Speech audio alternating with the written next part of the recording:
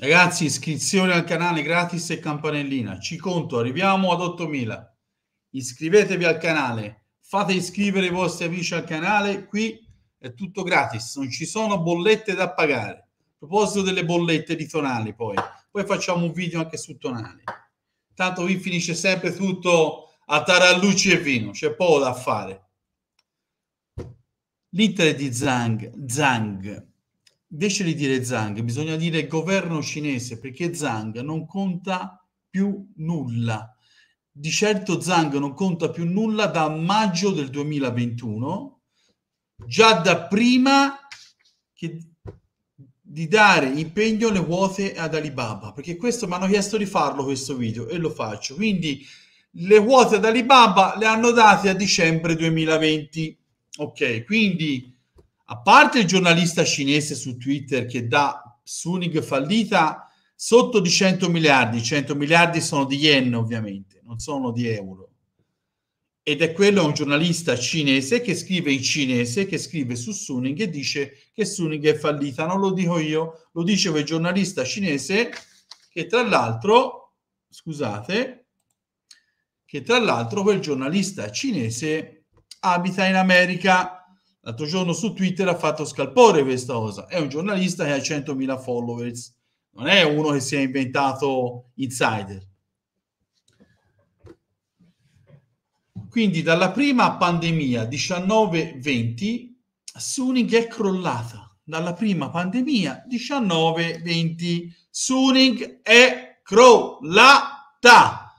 Noi siamo come Inter, siamo in mano al governo cinese, non a Zhang. Ma poi non lo so dove è il cinese, è inutile tutte le volte continuate, Giuse, dove l'hai? Io non l'ho messo da nessuna parte il cinese.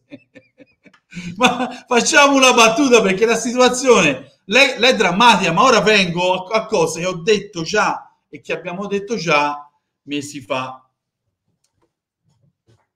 il problema dell'Inter, ovviamente, qual è lei? Il problema dell'Inter è il debito, ma sono soprattutto gli impegni finanziari che Zhang barra governo cinese hanno fatto.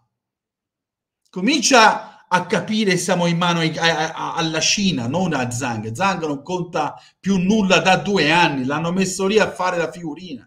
Lo vuoi capire o no? Non decide più nulla. È il governo cinese che conta, non è Zhang. Che Zhang con il governo cinese hanno rinviato perdite per 420 milioni grazie al mille proroghe, tutte perdite rinviate e sono 420 milioni. E metà di queste perdite, visto che c'erano 5 anni per pagarle, sono a scadenza triennale, mancano tre anni, non ne mancano più cinque perché due sono passati mi sono spiegato?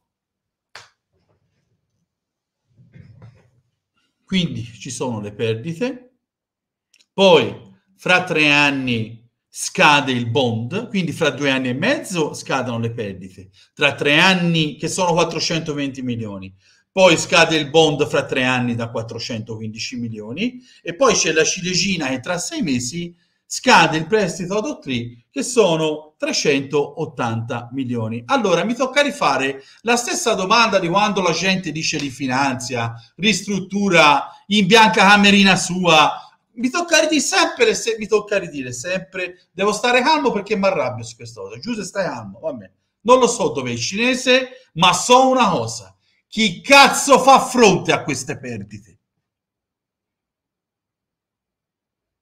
Te l'ho elencate in arco temporale, ora te le rielenco in cifre. 420 milioni di perdite rinviate. Ci sono tre anni, ci sono tre anni per pagarli perché due sono già passati.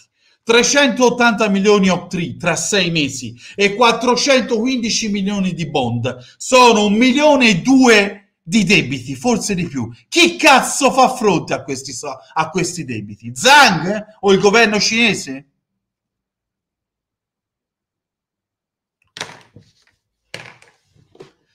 La vogliamo fare la finita? La vogliamo far finita di sparare le cazzate? La vogliamo far finita? È una roba noiosissima perché sono cose che abbiamo detto da mesi, mesi e mesi. Io voglio sapere chi farà fronte a queste, a queste, spese. 420 milioni di perdite da pagare entro due anni e mezzo, OT tra sei mesi, 3,80 e 4,15 il bond. Quindi Zang rimane di finanza deve tirare fuori un miliardo da qui a tre anni. Ma di cosa cazzo ragioni? Ma di cosa cazzo ragioni?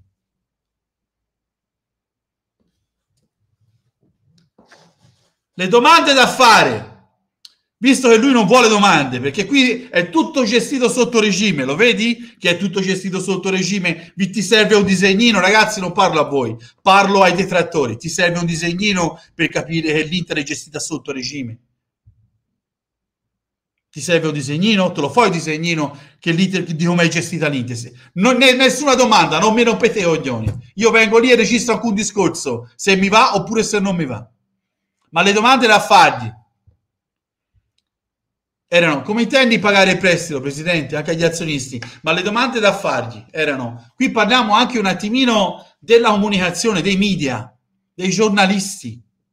Le domande da fargli erano, Presidente, ma la situazione dell'Inter a livello finanziario, lo sa tutto il mondo che, che, è, che è distrutta, è una situazione orrenda, che non può più stare in piedi. Quali sono le strategie per riportare il club in condizioni normali. Presidente, quali sono le, le, strategie? Che strategie ha lei per risollevare il club? Domanda numero uno.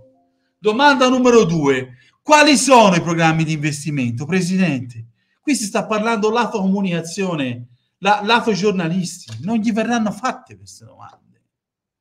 Non gli verranno fatte ovviamente queste domande. Hai capito?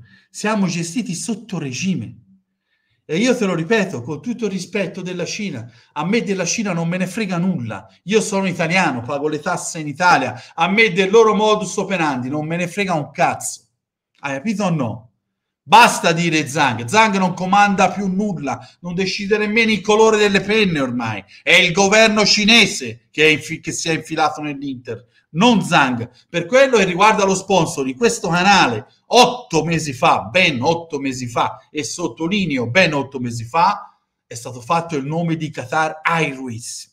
Attenzione, non era stato fatto né in televisione né sui giornali. E qui va dato atto ad Alessandro e fece il nome di Qatar Airways. Qatar Airways. Te l'ho detto due mesi fa, un mese fa quando rivenne fuori. Un milione ci hanno offerto un caffè per ora, ci siamo anche noi ragazzi, un milione, loro puntano a fare il main sponsor. Con cifre che arrivano fino a 45 milioni, non ti dico dal primo anno, ma a crescere fino a 45 milioni. Questo canale qui te l'ha detto, Qatar Airways. Paramount molto probabilmente ci volerà dalla parte dietro, non andrà nemmeno via Paramount. Qatar Airways, ragazzi, Ormai Zang è l'incubo di tutti i tifosi dell'Inter, anche dopo le vittorie sento parlare, speriamo quando se ne va. Prima solo quando si perdeva, ora quando si perde, speriamo si tolga dai coglioni, non lo posso più vedere, siamo tutti sulla stessa barca. Bisogna solo aspettare. Ma chi pensa che lui faccia un discorso da dimesso o che dica ragazzi sono in difficoltà, scordatevelo, quello ti fa i discorsi in raddoppio ripartiremo dai più forti, come ti ha detto dopo la finale di Champions, e poi si vende tre giocatori, incassa 100, ne spende 20. Lui farà ancora così, ti proietta Messi sui domo, sono fatti così.